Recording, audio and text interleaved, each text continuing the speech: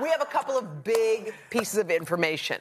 Number one, this young lady next to me is at a beautiful moment in her career because she has her first project in development with her production company.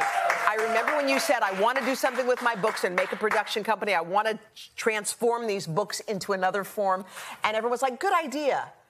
You did it. We're you get it. things I done. Know. I'm so excited, What's y'all, because What's your production we have um, the production company. We're still in the na- naming phase, It's okay. in the baby phase, Okay. infancy. But we're so excited because we are going to adapt a, a book that I loved. It came out in 2018. It's called The Feather Thief.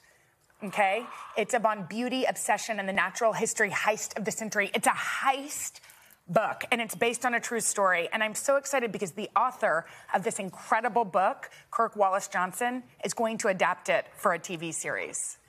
And he's brilliant. Can you believe what's happening No. right now? This started off as a book idea, and now you're I'm you're getting so, TV so series, excited. and you're going to have a production company, and it's all going to. This is amazing. Anyway.